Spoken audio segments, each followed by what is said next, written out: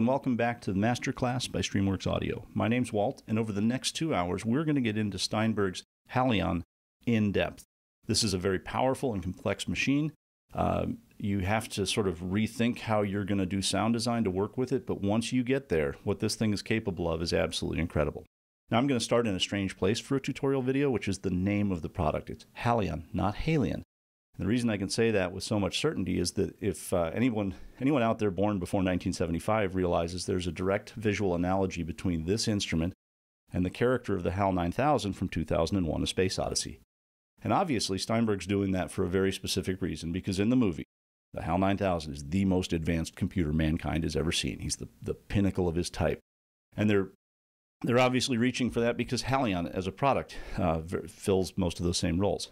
However, this analogy works on another level too, because if you remember in the movie, uh, Hal starts out great, but then he uh, goes crazy, kills the crew, except for one man trapped inside who slowly loses his mind. And if you unpack Halion and just start poking at it, um, it begins to feel like the same thing is happening. A couple of hours in, it feels like the thing's actually actively trying to work against you.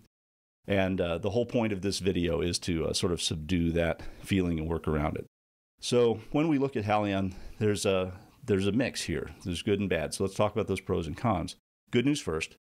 Halion is incredibly powerful and incredibly flexible, which is great, but that comes at a cost because with that flexibility comes complexity and feeling of slipperiness. And I'm, we'll define specifically what I mean by slippery as we go along here.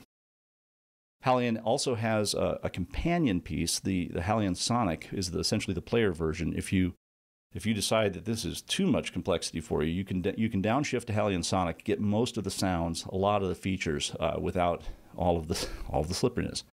And then finally, I, I, think the thing that most Halion users probably don't realize is that this is actually a complete authoring platform. What I mean by that is Halion 6, unlike any other VST I've ever seen, it comes with all of the content, uh, tool set, and licensing to create your own standalone VST uh, plugins, which you could then you know distribute to market your brand or even stand up and sell. And if you wanted to do that for any other product, you would have to go to the manufacturer and apply for a software development kit and get the licensing and all of that. All that stuff is built into Halion. So uh, we'll we'll conclude with a look at how to do all of that. So, with that in mind, the course outline is going to be basically five chunks. Um, in the beginning, here, we're going to break through that vocabulary barrier, kind of get you oriented to the signal flow and how the how the whole thing works, so it doesn't feel quite so slippery.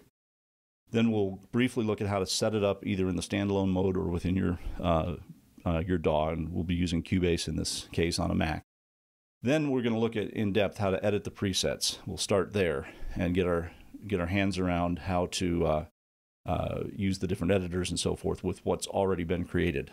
Then we'll move on to creating your own sounds, including sampling, because this thing is also a world class sampling workstation. And finally, we'll do a, a, quick walkthrough of how you go about creating one of those instruments called a macro uh, to package it up and, and distribute. So, with all that in mind, let's look at the uh, most common pain points that Halion users uh, generally seem to express. The first is that the terminology is non standard. I mean, it's not even close. And this is a problem with a lot of VSTs. Uh, unlike a car where the steering wheel always does the same thing in every car you drive, uh, they have different functions and features, and there's no requirement to call the, anything by the same name. And that is even uh, more pronounced with Halion because they've, they've really gone off uh, uh, further uh, in their own direction. The second, in my opinion, the layout is a little too flexible. Uh, and we'll talk about that and how to avoid it. There is um, a fundamental break with sort of traditional user interface in that there's no direct connection between visibility and functionality. And what I mean by that is you can hide stuff completely and it's still running. If you can't even see it to edit it, it can be a little bit hard to turn on or off something that's that's doing stuff in the background that you don't want it to.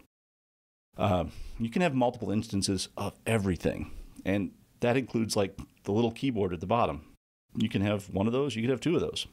You, you can have 22 of those. You could fill your whole monitor up with little keyboards. Uh, and again, that's uh, as long as you're aware of it, you can work around it. That sort of capability is there, I think, to support the authoring tools that we'll be looking at in the end.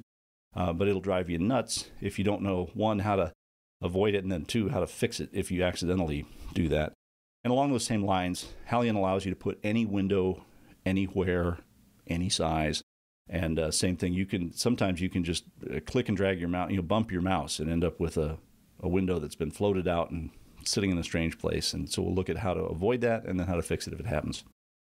So when we uh, first look at Halion, it's it's a little bit visually confusing. It doesn't really look like a traditional synth.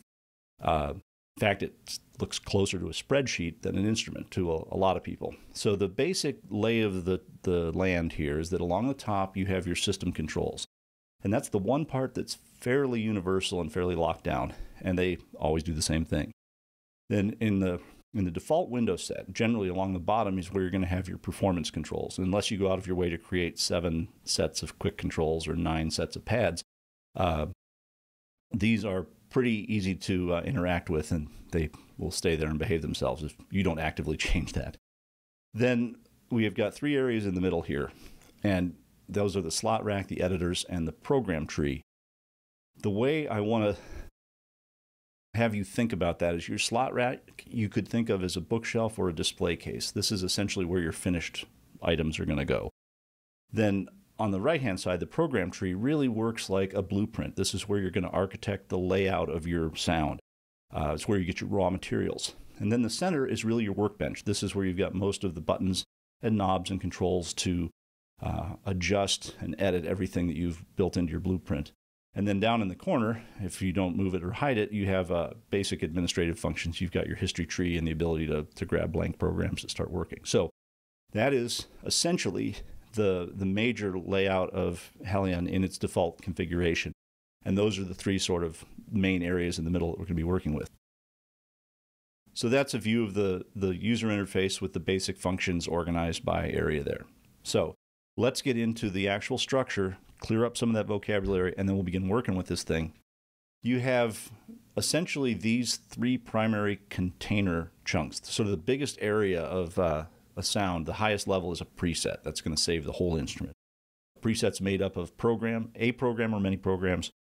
Each program's made up of layers. But these in and of themselves don't make sound. They don't do anything. They just hold other stuff. And inside each layer, you're going to have a zone and a bus at a minimum, and in most cases, a MIDI controller. And of these, the zone is the heart of the whole thing.